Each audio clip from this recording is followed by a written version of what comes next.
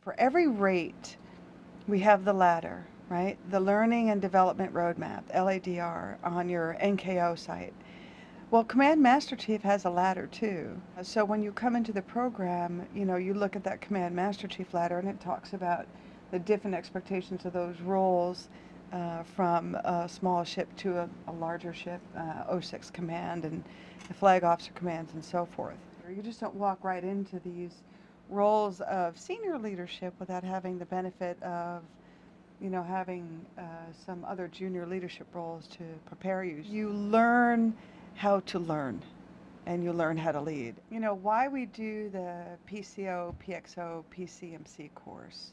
Now, those courses at the Command Leadership School in Newport, Rhode Island are really designed to, you know, give an opportunity for PCO, PXO, PCMCs to cut their teeth on, you know, working as a triad in those roles. The early roles of being an LPO, of being an LCPO, a division officer, that it's critical that at each level there's a triad. So for department LCPO, you have your department LPO and then your department head, and that's the triad. For a division, you have your division officer, your division leading chief, and your LPO, and that's a triad. So if they're not talking with each other at each level and learning how to be a triad, it makes it that much more difficult when you become a CO, XO, and a CMC.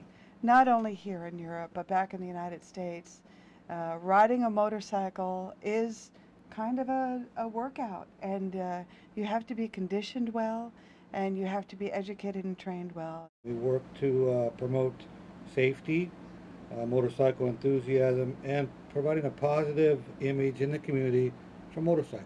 Well, experienced riders need to uh, always take a look, make sure you're doing your T-CLOCS, making sure your bike's in good running shape before you ever go. You're checking all your, your, your, your throttles, your all your controls on your bike, making sure they're operating safe, the air pressure in your tires, making sure your oil's good.